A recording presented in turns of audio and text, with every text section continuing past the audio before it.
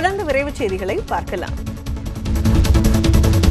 காஞ்சிபுரம் அத்திவரதர் திருவிழாவின் ஒன்பதாம் நாளான இன்று அத்திவரதர் பட்டாடையில் பக்தர்களுக்கு காட்சியளித்தார். இன்று காலை அத்திவரதருக்கு திருவாராதனம் செய்யப்பட்டு பட்டாடை உடுத்தி மலர் மாலை அணிவித்து நெய்வேத்தியம் செய்யப்பட்டது.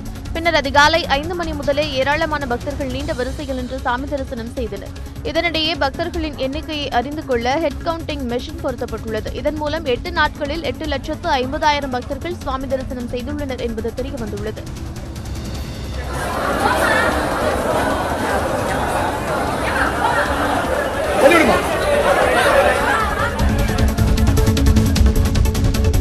காஞ்சிபுரம் மாவட்டம் மதுராந்தகம் அருகே தச்சூரில் சாலையோரம் நிறுத்தி வைக்கப்பட்டிருந்த அரசு பேருந்து நள்ளிரவில் தீப்பிடித்து எரிந்த சம்பவம் பரபரப்பை ஏற்படுத்தியுள்ளது. செங்கல்பட்டிலிருந்து இயக்கப்படும் அரசு பேருந்து நேற்றிரவு வழக்கம் போல் தச்சூரில் நிறுத்தி வைக்கப்பட்டிருந்தது. இந்நிலையில் அந்த பேருந்தில் திடீரென தீப்பிடித்துள்ளது. இதையடுத்து மதுராந்தகம் தீயணைப்புத் துறைக்கு தகவல் தெரிவிக்கப்பட்டது. ஆனால் தீயணைப்பு வீரர்கள் வரும் முன்பு பேருந்து முற்றிலும் எரிந்து சேதமடைந்தது. இதனிடையே இந்த தீ விபத்து குறித்து வழக்கு பதிவு செய்த போலீசார் பேருந்திற்கு யாரேனும் தீ வைத்தார்களா என்ற கோணத்தில் விசாரணை மேற்கொண்டு வருகின்றனர். சேலத்தில் வீட்டின் பூட்டை உடைத்து இருபது சவரன் தங்க நகைகள் மற்றும் வெள்ளிப்பொருட்கள் கொள்ளையடிக்கப்பட்டுள்ளன.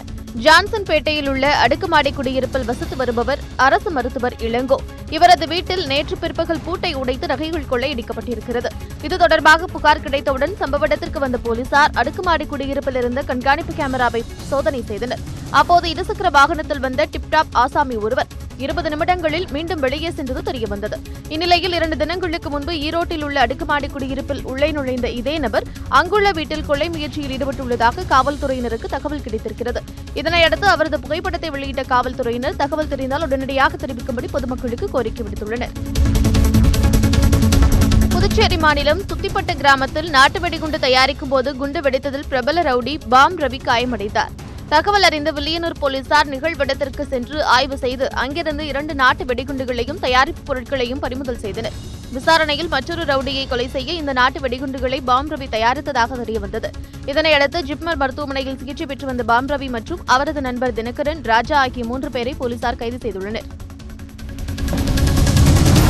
பீகாரில் அண்மையில் பெய்த மழையால் மருத்துவமனையில் புகுந்த நீரில் மீன்களும் அடித்து வரப்பட்டன. பாட்னா அரசு மருத்துவமனை பின்புறம் குட்டை உள்ளது. கனமழையால் இந்த குட்டை நிரம்பி வழிய தண்ணீர் மருத்துவமனைக்குள் புகுந்தது.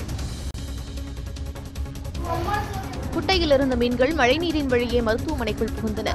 மீன்களை துப்புரவு ஊழியர்கள் அங்கிருந்து அகற்றினர். சில மணி நேரம் மழைநீரால் நோயாளிகள் பெரும் சிரமத்திற்கு ஆளாகினர்.